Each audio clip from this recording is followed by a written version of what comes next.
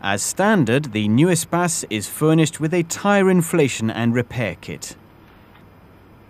The toolkit is located under the second row right-hand passenger footwell. It does not contain a jack.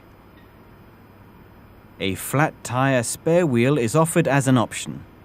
It is located under the vehicle. From the luggage compartment and for vehicles fitted with a Bose amplifier, undo the three fixing screws and move the amplifier aside to access the cover. Lift this cover up and take off the blanking cover. Only use the wheel wrench for unrolling the retaining cable.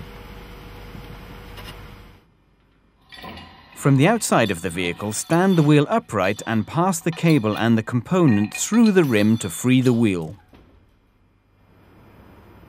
The passenger compartment fuse box is located on the left-hand side of the dashboard. To get to it, remove the fuse box access cover.